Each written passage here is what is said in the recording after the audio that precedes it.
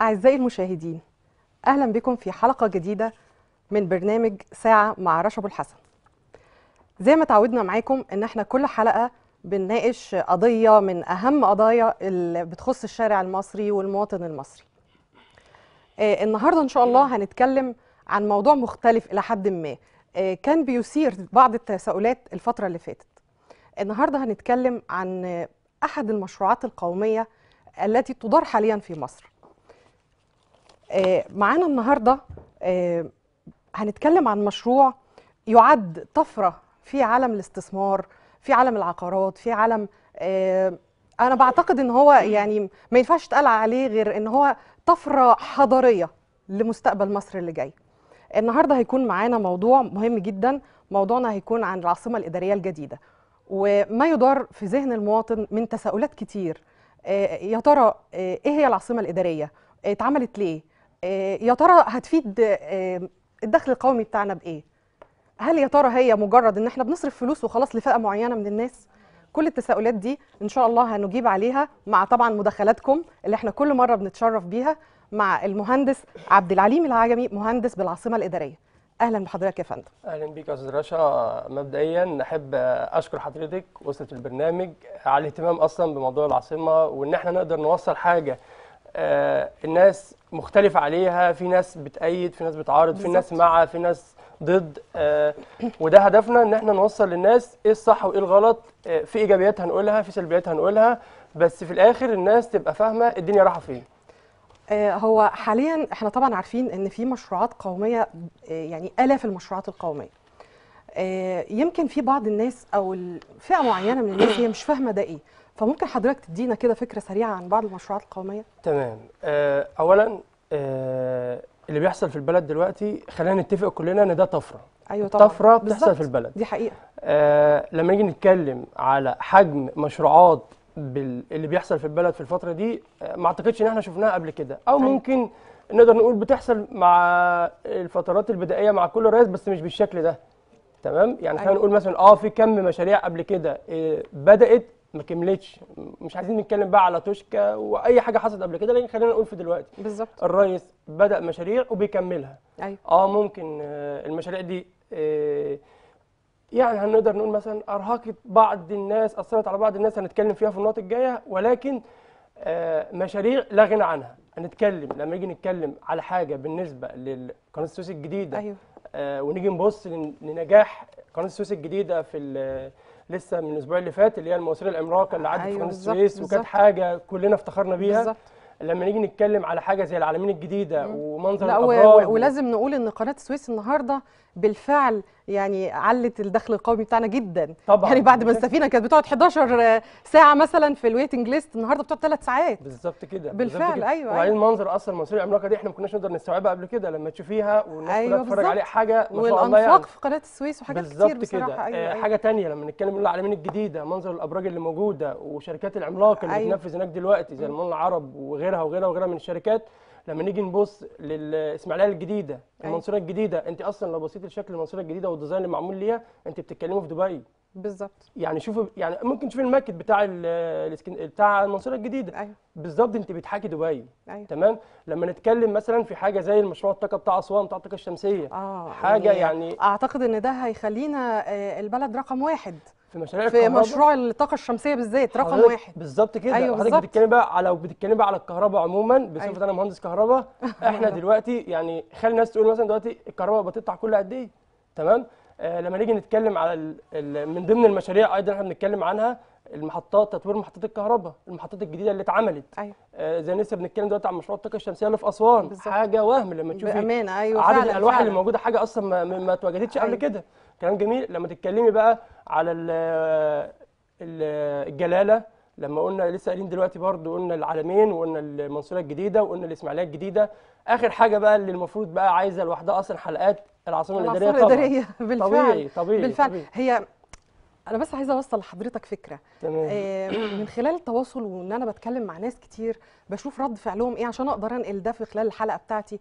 تمام. أكتر الناس بيتكلموا على إن ليه نصرف المليارات دي كلها في حاجة إحنا ممكن أصلا نصرف المل- المليارات دي في صناعات في مصانع نشغل ناس في حاجات كتير يعني كلام جميل. آه، يعني حضرتك فاهمني دايما جميل. المواطن مش بيفكر أو هو مش عايز يعرف إيه اللي ورا المشروع لا هو دماغه لا في حاجات تانية ممكن نصرف فيها تمام. فهل إحنا ممكن نفهم آه، كل اللي بيتفرجوا علينا النهارده إيه هي العاصمة الإدارية واتعملت ليه؟ تمام مبدئيا حضرتك قلت كلم... سؤالين هرد على جزء وجزء. أيوة، أيوة، تمام. أول جزء اللي هو بالنسبة لو الناس بتسأل ليه إحنا ما نفقناش المليارات دي في مصانع؟ أيوة. مبدئيا بالفعل في مصانع بتتعمل. أيوة. وفي مناطق صناعية موجودة ومناطق كتير جدا. نقدر نتكلم على المنطقة بتاعه دمياط الروبيكي مناطق كتير جدا صناعية موجودة بالفعل. بالظبط بالظبط. طيب هل أنا أقدر أعمل مثلا كل المشاريع اللي عندي في البلد كلها مصانع؟ كلام جميل ماشي. طب أنا المصانع دي عندي infrastructure أصلا تخدم عليها. عندي طرق بالحجم الكافي اللي هي تغطي كل النقلات وكل العربيات اللوري اللي هتمشي في البلد. موجود؟ طيب عندي كباري تشيل الكلام ده كله؟ طيب عندنا بقى وزارات وعندنا آه، منشآت تقدر إن هي آه، تتابع كل ال- الحركات دي؟ طيب ماشي. آه كلام جميل. هنعمل مناطق صناعية. بس المفروض إن في عندي مراحل أيوة. طيب أنا هعمل حجم مصانع بالشكل ده كله وأنا ما عنديش أصلا طرق ما عنديش كباري أيوة. طيب بالنسبة بقى للعاصمة الإدارية طيب إيه اللي إحنا نستفاده بقى من العاصمة الإدارية أو إيه اللي هتقدمه مبدئيا دلوقتي إن بننزل القاهرة ممكن مثلا واحد في ناس بالفعل ضيعت معظم عمرها في القاهرة يعني إيه مش في القاهره يعني هي مثلا ممكن تخش القاهرة وما تخرجش بالظبط اللي هو أصلا بيقضي مثلا 8 ساعات في شغله بيقضي زيهم 10 في في القاهرة بسبب التكدس بتاع يعني. النهارده آه، أنا فوجئت برقم كده بصراحة كل كيلو متر مربع حاليا بيشغلوا 50 آه، ألف نسمة. بالظبط. يا فندم دي حاجة. يعني آه بالظبط. يعني القاهرة أصلا. الناس دي عايشة يا إزاي؟ أستاذة فكان. لابد بالفعل إن يكون في مكان تاني متاح. يعني النهارده لما العاصمة الإدارية تكون آه، مبدئيا بنتكلم على ان هيتم نقل مثلا 18 مليون نسمة للعاصمة الإدارية للإقامة فيها أعتقد إن ده يعني هيسهل حاجات كتير جدا في الحياة في كده. بالظبط أيوة. كده حضرتك. بالظبط كده. زي ما لسه بنتكلم القاهرة دلوقتي بتعد من أكتر مدن العالم تكدس بالسكان. بالظبط دي كلام حقيقة يا جميل. أنا بقى لما تبقى مصر بلد بحجم مصر طبعا معروف مكانتها افريقيا وعربيا ودوليا أيوة. تمام ويبقى إحنا في 2020 وكل دول العالم دلوقتي بقى عندها مدن وعندها عواصم إدارية جديدة زي أمريكا أيوة نيويورك بالظبط. واشنطن وكل الدول كده آه، وأنا آه، تمام آه، بالظبط كينج يبقى أنا لحد. دلوقتي آه، أنا. متكدس في القاهرة وكل وجهتي على العالم هي القاهرة هي القاهرة. يبقى أنا عندي كم معلم أو كم كم منشأة معينة اللي أنا واقف عليها لا دلوقتي العاصمة الإدارية بقى النقلة اللي اتنقلت لما أنا طب ناس كتير بتقول طب أنا هستفاد إيه من الوزارات كتير جدا تمام؟ أنا لما يبقى عندي انقل انقل الوزارات والسفارات والمصالح والبرلمان والبرلمان وكله. أيوه أيوه. ده أنت حضرتك النهارده يعني يكفي بس الازدحام اللي بيحصل عند الأماكن دي. بالظبط. كل الكلام ده بقى آه، تلاشوه في العاصمة الإدارية الجديدة الطرق المساحات اللي اتعملت أصلا في العاصمة كل ده معمول حسابه لو بتتكلم مثلا ولا بعد 200 سنة مش هيبقى في زحمة أيوة. مش هيبقى في تكدس انت عاملة ال zoneات اللي متقسمة أصلا شكل العاصمة هي متقسمة لو شفت الماكيت بتاع العاصمة عموما أيوة. الزونات البارتيشنات الار 1 أيوة وال R 2 فعلا، وال R 3 فعلا. حاجة يعني انت بتتكلمي مفيش حاجة اسمها زحمة هتبقى موجودة في العاصمة الزحمة ال... ال... أصلا كون إن انت تنقلي الوزارات وتطوري وتوسعي معلش لما أنا داخل مثلا وزارة معينة زي وزارة الصحة أو أي وزارة بنشوف شكلها وإحنا داخلين يعني خلاص آه، بقى إحنا عايزين يعني نحكي بقى أيوة، عايزين نحكي قديم. العالم. أيوة، بالظبط أيوة. كده عايزين نحكي العالم بقى العالم. نشوف التطورات نشوف ال... يعني كل الخدمات بقى اللي موجودة. سرعه التطور اللي حصل دلوقتي العاصمة أصلا داخلة دلوقتي يعني وزارة الاتصالات عاملة شغل كبير جدا في العاصمة الإدارية. السيستم اللي هتنزل عليه العاصمة الاداريه حاجة يعني مش موجودة. بالظبط. طب كل ده إحنا يعني يعني خلاص 2020 بقى يعني هنفضل على عايشين لحد بقى كام؟ على القديم بقى إحنا كنا وكنا وكنا. بس فكان لابد من وجود عاصمة إدارية جديدة تمام؟ تحاكي عواصم الإدارية بره نقدر نتكلم نقول مصر فيها عاصمة إدارية جديدة بديل للقاهرة. أيوه بالظبط. أيوه فعلا دي حقيقة. وأعتقد إن النهارده مصر بكل اللي إحنا وصلنا له آه، لازم لازم بالفعل يكون في النهارده عندنا عاصمة تحاكي فعلا العواصم ال- العالمية والعربية. طبعا, طبعا. وده حق مصر على. فكرة. أيوة مصر طبعاً، حقها طبعاً. بحضارتها بتاريخها ب 7000 سنة حضارة. حقنا إن إحنا يكون عندنا عاصمة أو يكون عندنا مدن تحاكي دول العالم. مصر مش قليلة. أيوة. بكوادرها. هنستأذن حضرتك معانا مداخلة آية من القاهرة. اتفضلي يا فندم. السلام عليكم عليكم السلام ورحمة الله وبركاته. ازي حضرتك؟ تمام الحمد لله. أهلا بحضرتك. آه وأنا عايزة اوجه رسالة لشخصي بس. معلش الصوت مش واضح يا فندم. ألو؟ ممكن حضرتك تعلي صوتك؟ أنا عايزة أوجه رسالة لشخص كده. إيه؟ عايزة توجه رسالة لشخص ما. لشخص ما؟ آه لحبيبي اتفضلي. عايز اتفضلي عليك سامعينك.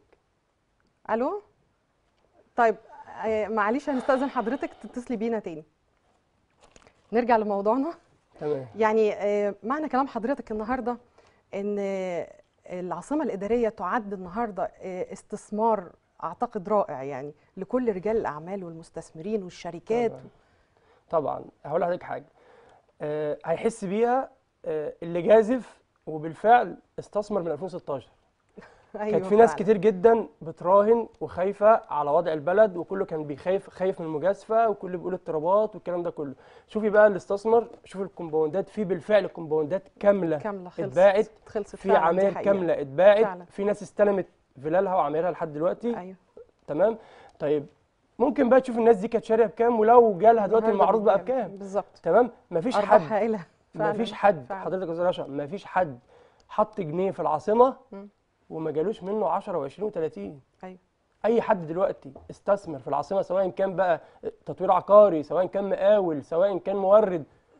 يعني مفيش حد اسمه خسر جنيه في العاصمة الإدارية. الدولة ما خسرتش. أيوه. الدولة بالفعل طلعت فلوس كتير جدا. ناس كتير كانت معاها فلوس خايفة تطلعها مش عارفة تطلعها في مشاريع. كله كان في الوقت ده يعني كان في اضطرابات. الناس كانت قلقانة خايفة تطلع. وطبعا راجل الأعمال ده أكتر واحد بيبقى خايف.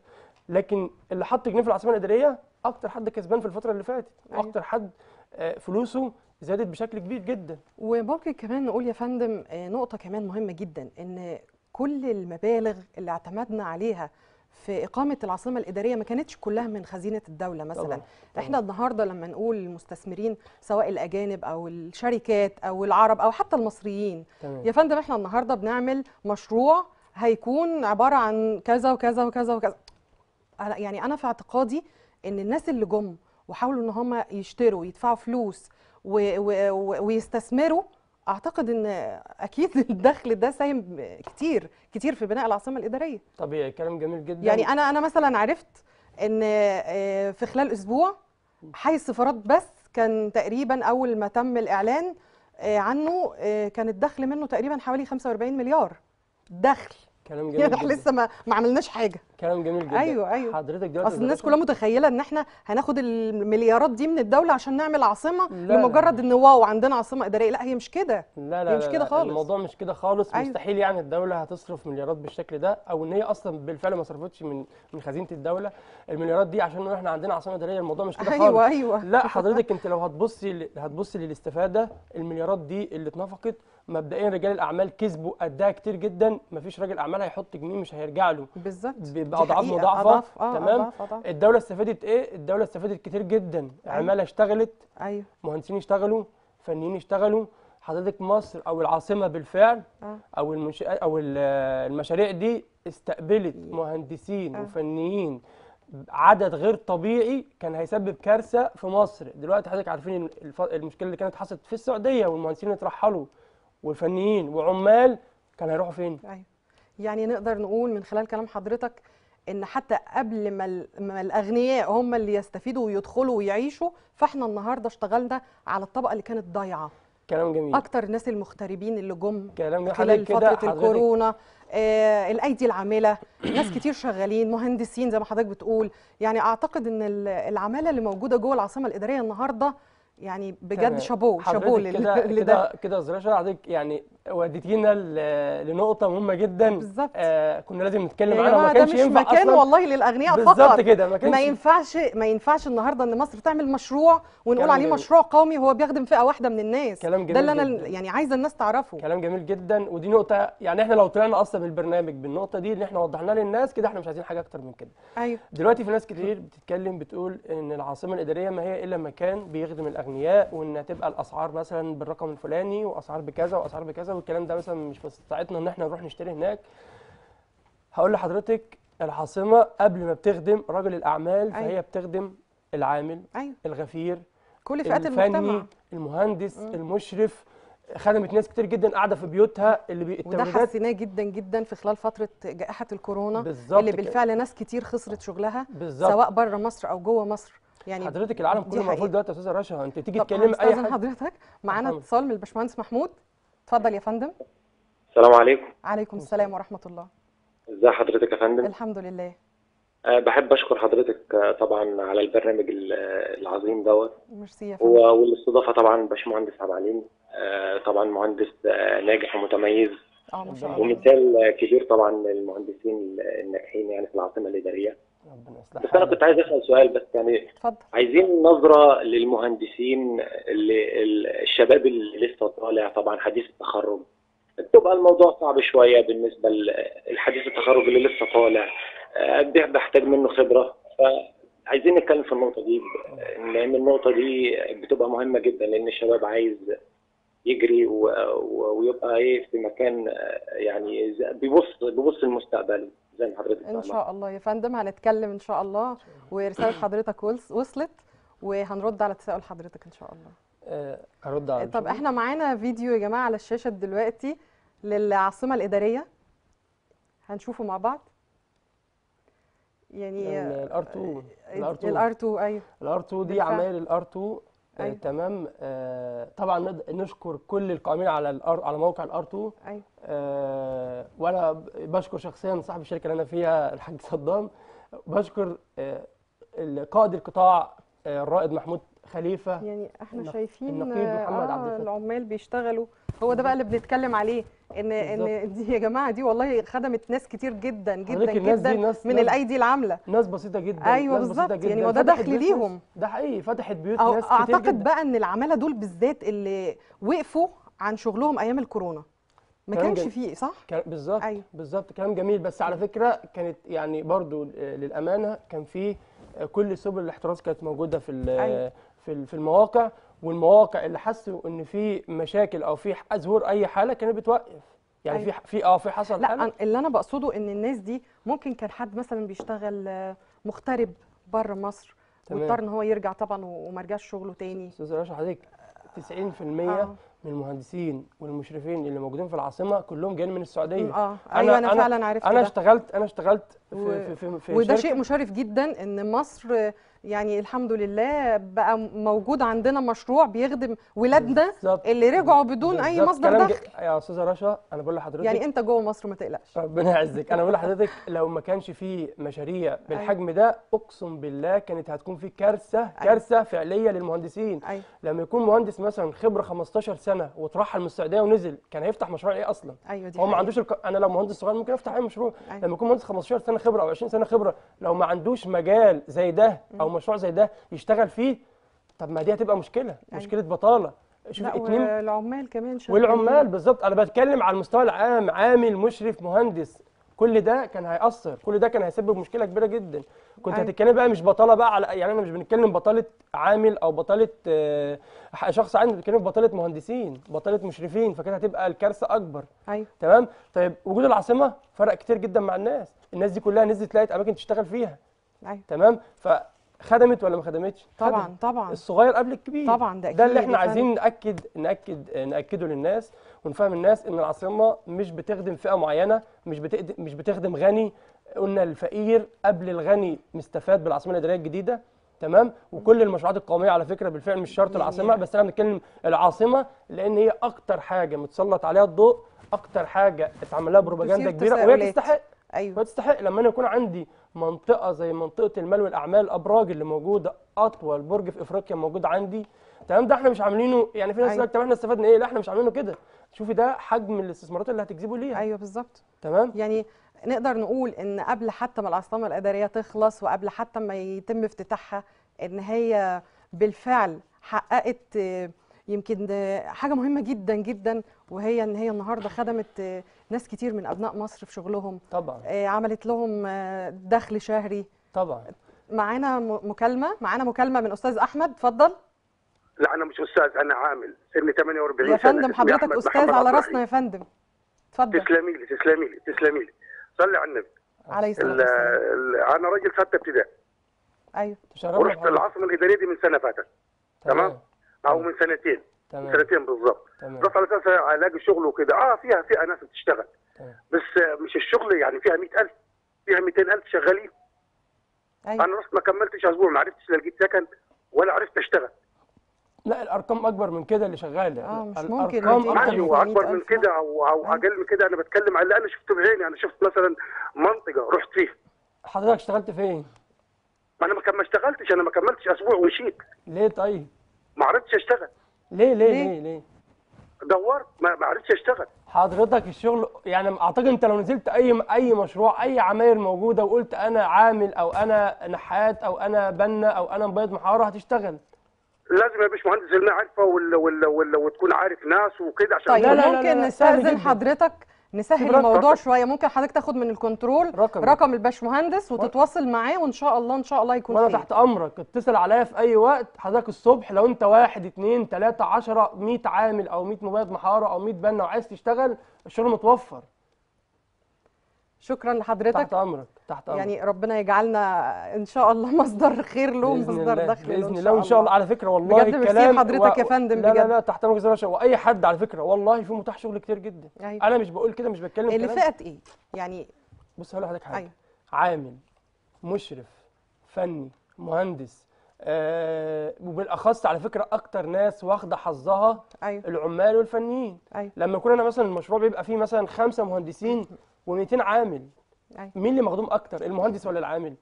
أيوه. لما يكون مهندس و100 عامل أو 200 بالظبط، عامل. هو. مستفاد أكتر فأك... يعني مشرف فني آه بنا مبيض محاره آه حداد نحات أي أي مهنه هناك حضرتك ما فيش حد اسمه ما بيشتغلش أيوه بالظبط مستحيل تلاقي الكلام يعني ده خلاص إحنا بقى من خلال الحلقة دي يعني. إحنا آسفين إحنا هنستغل حضرتك في إن لا، لا، إحنا لا، يا جماعة. أي حد من من العمال اللي حابين يتواصلوا مع الباشمهندس عشان آه، يعني أي فرصة عمل في من خلال العاصمة الإدارية إحنا طبعا الرقم موجود وتقدروا تاخدوه من الكنترول تحت أمرك في أي حاجة ميرسي يا فندم، merci، merci. وإحنا يا رب نكون إحنا فعلا سبب إن إحنا نفتح بيوت حد رب، أو إن إحنا. نساعد حد يا رب و...